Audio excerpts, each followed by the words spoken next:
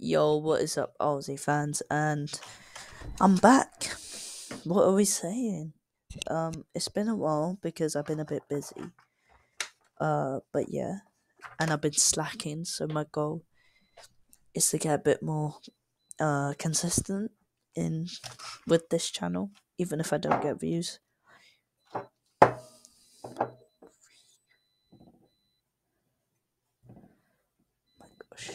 Uh, let's see what's new on the group.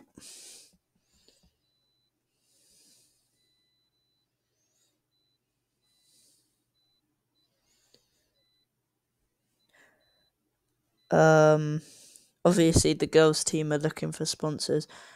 Uh, I'm going to talk about the last six games.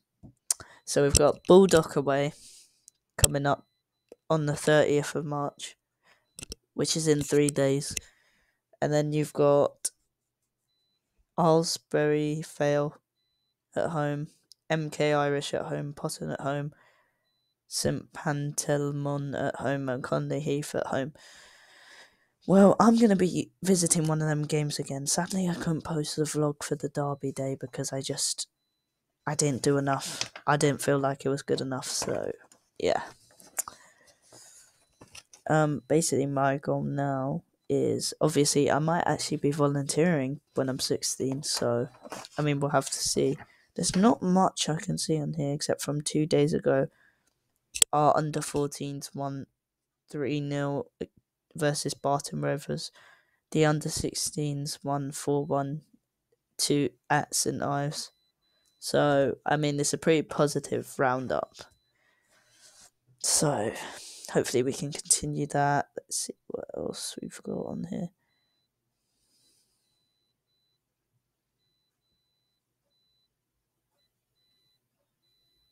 Um, yeah, the girls need money, so if you could raise some money, that would be very good for them because obviously we want equality, equal in sports. So that team could close down if there's not enough money to uh, financially back it. So yeah, thank you guys for watching. I'll see you again for the Baldock preview. I think so.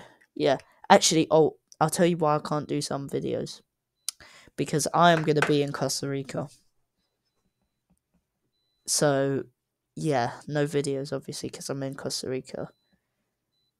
But yeah, so bye guys.